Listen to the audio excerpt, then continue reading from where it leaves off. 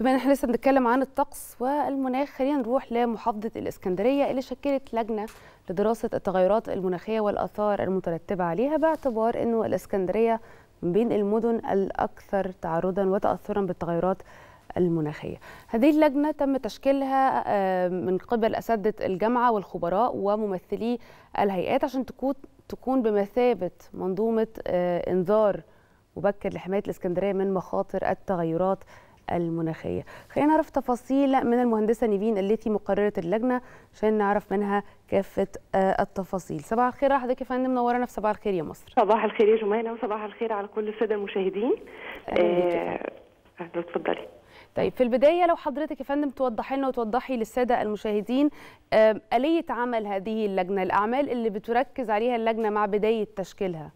آه والله في البداية يعني كان السيد السيد الوزير المحافظ آه بدأ يفكر في موضوع التشكيل اللجنة ده على أساس إن الإسكندرية من أكثر المحافظات يعني تعرضا للتغيرات المناخيه والكلام ده أثار كتير جدا في مؤتمرات المن... مؤتمر المناخ السابق. وبدأنا فعلا ب يعني وضع خطة للتشكيل تشكيل اللجنة.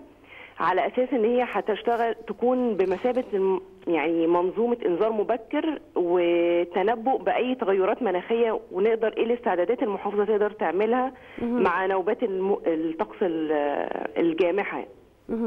طيب يعني حسب المخطط يا فندم إزاي ناويين إن أنتوا تبقوا منظومة إنذار مبكر؟ لو حصل أي حاجة لا قدر الله يعني. آه والله اللجنة مشكلة من من يعني من خبراء ومن أساتذة جامعة و وعدة جهات متخصصة في متخصصة في التغيرات المناخية. وبالتالي بدا بدأنا نحط أهداف للجنة ديت فبدأنا اللجنة تكون ب يعني آه تحط الدراسات والأبحاث ونشوف إيه أكتر الحاجات اللي ممكن المحافظة تستعد بيها زي مثلا الخرائط الخرائط الطقس مثلا هتبقى عاملة إزاي التنبؤ بالدرجات الحرارة إيه اللي ممكن المحافظة تستعد بيه يعني.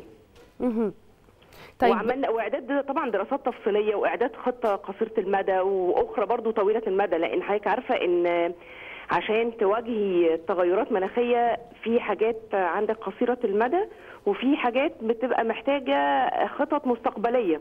طبعا. آه فدي بناء على الدراسات والأبحاث هنبدأ نشتغل عليها يعني وخصوصا إن اللجنة دي فيها هي نقطة وصل بين الأبحاث والدراسات وبين الجهات التنفيذية ودي يعني خطوة سباقة يعني. طبعا بكل تأكيد. طيب النقطة دي مهمة جدا يا فندم. لو توضح لنا وجه التعاون هيبقى عامل إزاي؟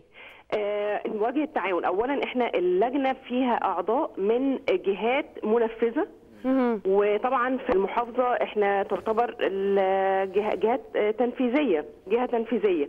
وأيضا الأساتذة والخبراء دول من الجامعات وبيعملوا دراسات وآخر الأبحاث ودراسات على مثلا منسوب سطح البحر المتوسط إيه الإسكندرية بتشهده مثلا لو في تآكل للشواطئ إيه الخطوة اللي إحنا ممكن نعملها عشان نحمي بيها شواطئنا؟